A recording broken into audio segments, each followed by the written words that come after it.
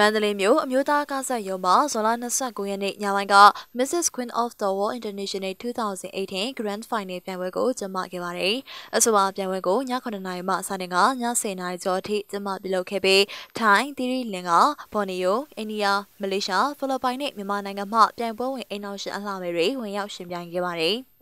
ပြိုင်ပွဲမှာ National Costume Round, မြန်မာ Traditional Round, Evening Ground Round အမေးဖြေကဏ္ဍတွေနဲ့အဆင့်ဆင့်ရှင်ပြိုင်ခဲ့တာဖြစ်ပြီး Fourth Runner Up ဆုကို Borneo, Third Runner Up မြန်မာအလှမယ်စင်စင်မို့ Second Runner Up ဆုကိုအိန္ဒိယအလှမယ် First Runner Up မြန်မာအလှမယ်အီမိုနိုကရရှိခဲ့ပါတယ်။ဒါအပြင် Hero Mother of the Year ဆုကိုအိန္ဒိယအလှမယ် Mrs. B Ambassador Winner ဆုကိုမြမြစုခိုင် Teresa Ambassador Winner ဆုကိုမြို့မမှာ Mrs. Queen of the World Angel ဆိုကိုမလေးရှားအလှမယ် Mrs. Queen of the World International 2018 Stanek ဆိုကိုအိန္ဒိယ